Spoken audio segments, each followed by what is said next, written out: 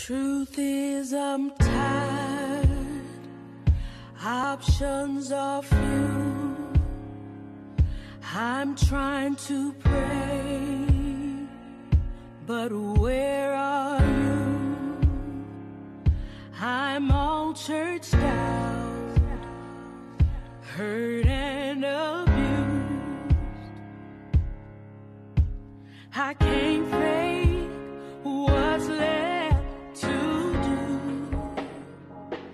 Truth is, I'm weak, no strength to fight, no tears to cry.